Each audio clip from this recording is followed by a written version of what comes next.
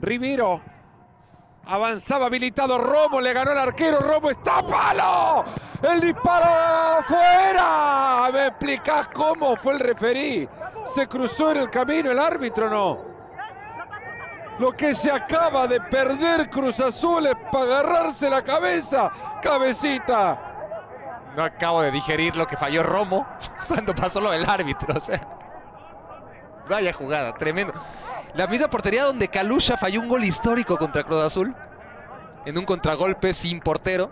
Bueno, al otro poste fue a dar. ¿Qué decir? Que No, el no, sin sido el palabras, mejor sin central palabras. que ha tenido Toluca hoy. Qué bárbaro.